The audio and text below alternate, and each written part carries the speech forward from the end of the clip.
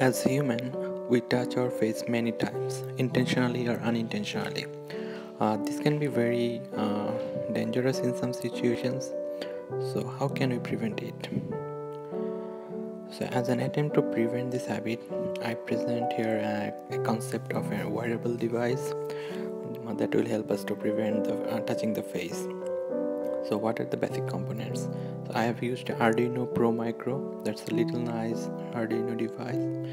Mm, and then i have used a, a sharp infrared distance sensor uh, which has a range of up, up to 80 centimeter and finally a vibration motor for generating the alarm. So uh, this is how the device looks like. Uh, on top of the arduino board i have added the sensor and I have added the vibration motor on the left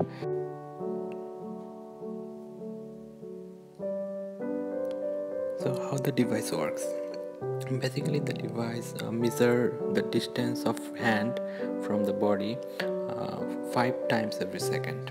And uh, if the measured distance is less than 25 centimeter the device makes the vibration alert. So let's test it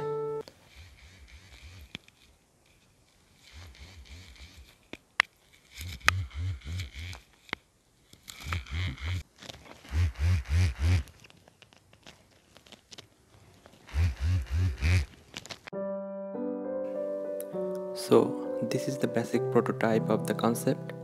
Uh, please feel free to leave any questions or comments or suggestions and, and finally thanks for watching.